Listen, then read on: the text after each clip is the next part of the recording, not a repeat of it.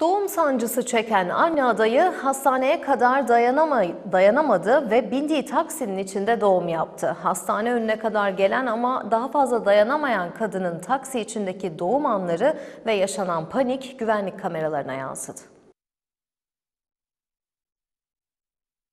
Doğum sancısı çekmeye başlayan kadın hastaneye gitmek için bindiği takside doğum yaptı. Kepez ilçesi Sütçüler Mahallesi'nde yaşayan 31 yaşındaki hamile Samara Satılmış, sabah saatlerinde sancısı artınca hastaneye gitmek için eşi Burak Satılmış ile taksiye bindi.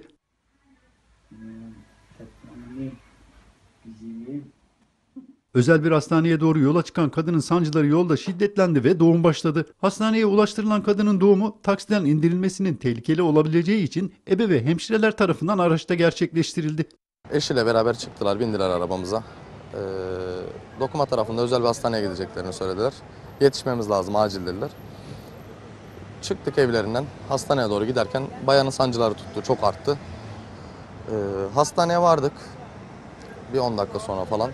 Hastanedeyken arabadan aşağı indiremedik bayanı. Yaşanan tüm zorluğa rağmen başarılı ve sağlıklı biçimde dünyaya gelen bebeğe Melek Ayşe ismi verildi. İşte o mücadele anları ise hastanenin güvenlik kamerasına yansıdı. Anne Samara satılmış ve baba Burak satılmış doğum sonrası yaptığı açıklamada taksi şoförüne teşekkür ederek kızlarının sağ salim dünyaya gelmesinin mutluluğunu yaşadıklarını söylediler.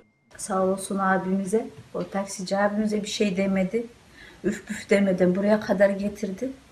Ama e, biz eskiden şey diyorduk, doğum olmadan önce diyorduk, kızımıza diyorduk, sabret diyorduk. Baba, babamızın maaşına kadar. Dün zaten maaş aldıydı, bugün de buraya geldik. Nasipmiş demek ki. Buraya kadar geldik ama yani içeri giremedik. Taksinin içinde doğum yaptım. Her şey bir anda acile geçti zaten. Ee, yarım saat içerisinde buraya bak. Yani yarım saat içerisinde, yarım saat bir saat içerisinde doğum gerçekleşti zaten. Ee, ambulans falan aradık. Baktık olmuyor. Acil gitmemiz lazım. Taksiye, taksici arkadaştan da Allah razı olsun. Ee, buraya geldik. Doğum hemen bir anda gerçekleşti zaten. Şoktaydım ben de zaten.